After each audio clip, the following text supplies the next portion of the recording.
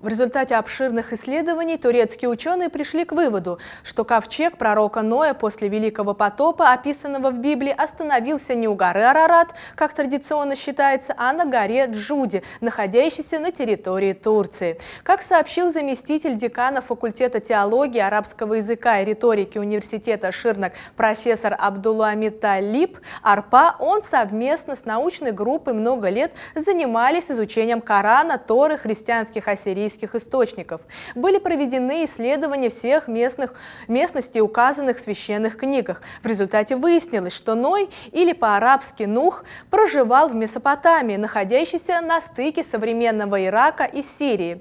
Само же наводнение началось именно в этой местности, поэтому Ной вынужден был остановить свой ковчег на, на самой высокой горе Месопотамии, Джуди. Так как ни в одном источнике не указано точное расположение последней стоянки ковчега, ученый приводит цитату из раздела «Бытия» священной книги Торы. Ковчег остановился 17 числа 7 месяца в горах Арарат.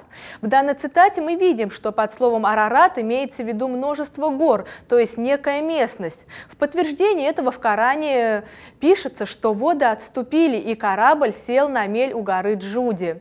Горный хребет Арарат начинается на юге Ванского озера и простирается вдоль реки Тигр, заканчиваясь у горы Джуди. Джуди. Если мы объединим данные Корана и Торы, можно сделать конкретные выводы о том, где же действительно остановился Нух, заявил Арпа.